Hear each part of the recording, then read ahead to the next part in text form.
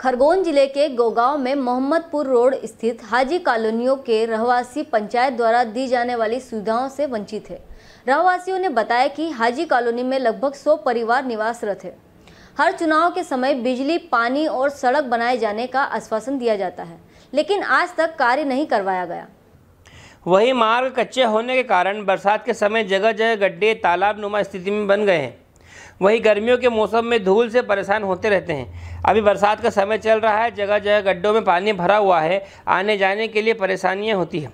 School जाने वाले बच्चों को भी कठिनाइयों का सामना करना पड़ता है। हमारा रोज़ का काम हो गया है। हम मजबूर हैं, कोई भी विभाग हमारी फरियाद को सुनने को तैयार नहीं। गत वर्ष हमने जिला कलेक्टर को भी समस्या से अवगत कराया था, लेकिन कोई निराकरण आज तक नहीं हुआ है। गुड़गांव से इकबाल हकीम की रिपोर्ट। ये मामला जो है, कॉलोनी का रोड को लेकर है। यहाँ पर गड्ढे भर जाते हैं पानी भर जाता है और आने जाने वालों को तकलीफ़ होती है और कई बार तो आने जाने वालों के बीच में झगड़ा भी हो जाता है कीचड़ उड़ जाने की वजह से। कॉलोनी के लोगों के बीच आपस में।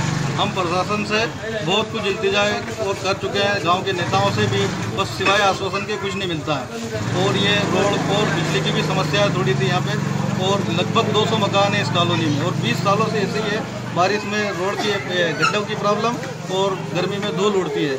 और आपस में झगड़े होते रहते हैं।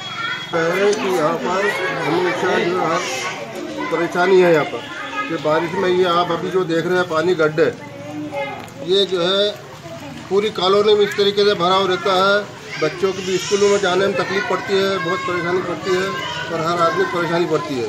तो यह कम से कम बीस साल से यहाँ पर रह रहे हैं लोग। लेकिन किसी का कोई कोई काम होने वाला नहीं है। अपना पंचायत वाले करते हैं ना कोई नेता लोग कोई काम सुनने को तैयार है। किसी के पास जाओगे तो आश्वासन दे देते हैं, काम अब कुछ होता नहीं है। हेलो फ्रेंड्स आप देख रहे हैं हमारा channel S W twenty four news हमारे सारे वीडियो सबसे पहले देखने के लिए आप हमारे चैनल को सब्सक्राइब करें और पास में लगे बेल आइकन को दबाना बिल्कुल भी ना भूलें।